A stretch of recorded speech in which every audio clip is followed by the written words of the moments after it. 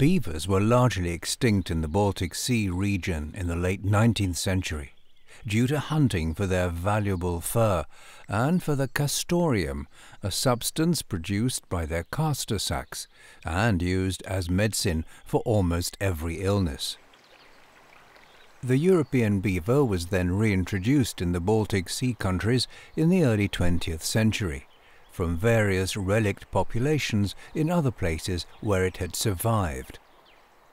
The reintroduction has been a real success story for wildlife conservation and for the beavers.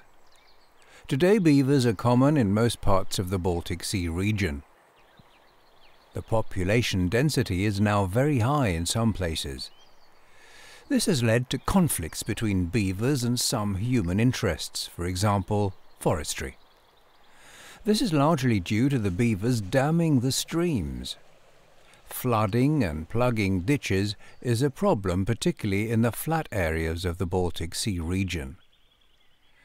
Within the project Water Management in Baltic Sea Forests, WAMBAF for short, we are working on disseminating good practices for a sustainable management of beavers. Beavers are great modifiers of the landscape, turning it into a waterscape. By damming, they create new river paths and channels. This area, for example, was a productive spruce forest about 30 years ago.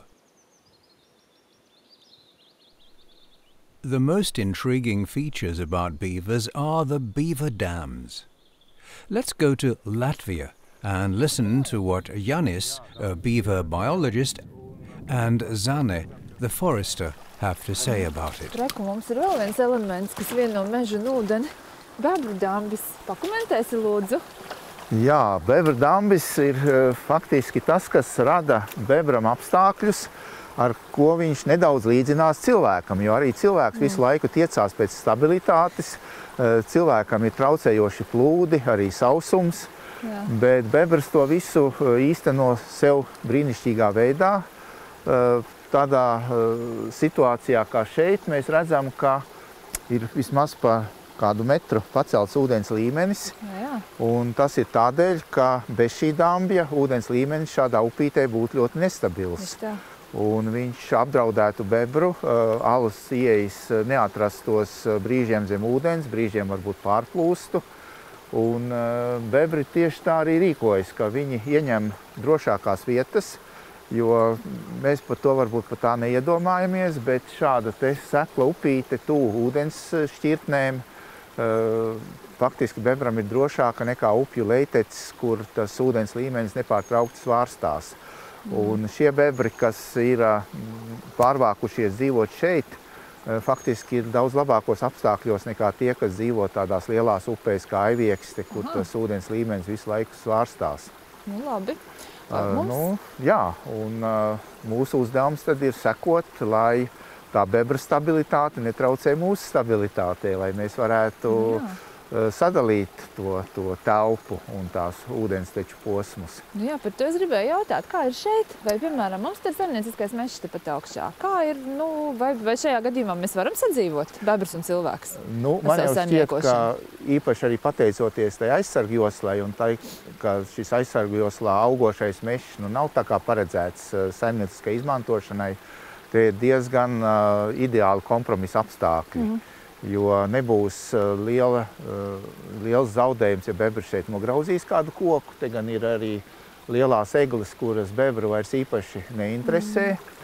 Un, uh, ja vējš tās eglis izgāzīs, tad tur atjaunosies lapu koki, Jā. kas ir taisni bebram ļoti laba barība. Tāpat arī celtniecības materiāls nu, no lielajiem veciem kokiem reti tiek izmantots, Jā. bet nu, ideāli ir šādi te kāds 3-5 cm diametra kociņa zari. Nu, šeit ir notikusi steiga, var redzēt, jo bebrs ir izmantojis arī vienkārši kritalas. Parasti nē, jā. Parasti viņš tā nedara. Faktiski, jā.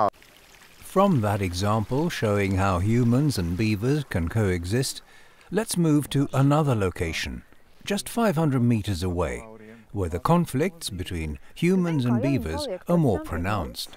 Mēs ejam pa jaunaudzi, netālu no bijušā bebra dambja. Un šeit ir redzams, ka galvenā koku suga ir vismaz bijusi egle. Jā, ir bijusi, nu, ir joprojām, bet, kā redzams, tad lielākā daļa egļu ir vai nu ļoti sliktā stāvoklī vai beigtā stāvoklī. Jo negli ir tā koku suga, kas ļoti necieš stāvošus augstus uh, gruntsūdeņus. Nu, eglē ir vajadzīga tiešām šī augsnes aerācija. Un ja mums redzam, ka ūdens līmenis ir bijis tāds, kā tur tajā, kā, kā tajā grāvī, un kā pie tā aizsprost, nu skaidrs, ka tad eglē saknes ir pilnīgā ūdenī, un tad viņi neko, neko nevar, ne, nevar izdzīvot. Un, jā, nu, diemžēl, jo, ja mēs arī paskatāmies uz dažiem no šiem kokiem, mēs redzam, ka pieaugumi ir bijuši kādu laiku ļoti labi, ļoti smuki ir šīs teglītes augušas. Bet nu, pēdējos gados, acīm redzot, tieši ir aktivizējies mums te draugs babrs, un tad šīs te aktivitātes rezultātā ir jau pēdējie pieaugumi ļoti nelieli, un arī šis te, tad ir noticis tas, ka koki ir gājuši bojā.